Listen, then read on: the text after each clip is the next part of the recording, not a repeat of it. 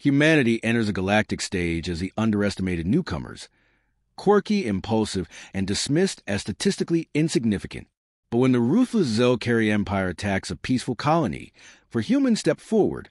A calm leader in her late 30s, a sarcastic engineer, an idealistic anthropologist, and a wild card marksman who bends physics with every shot. Their mission isn't conquest, it's survival and rescue. Outnumbered and hunted, humanity does what it does best adapts. They improvise alien tech with duct tape, weaponize misdirection, and turn unpredictability into strategy.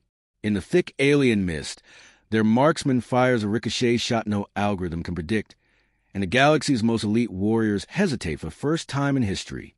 That hesitation changes everything. The Zelkeri retreat not in shame, but in awe. They request dialogue, not surrender. Humanity becomes legend, not for strength, but for creativity under pressure.